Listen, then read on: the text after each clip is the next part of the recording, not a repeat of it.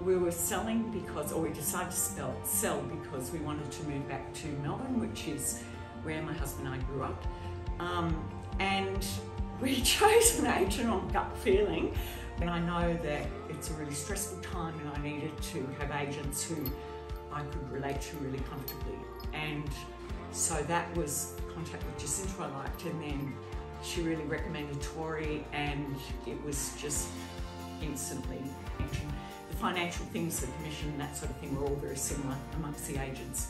And I think McGrath is the leading one in sales in Orange anyway, which I didn't know at the time, but that's good. I think it was marketed brilliantly and I think the photography was really good. Tori got onto the internet quickly and I think it was the thing that um, ultimately attracted people to come through.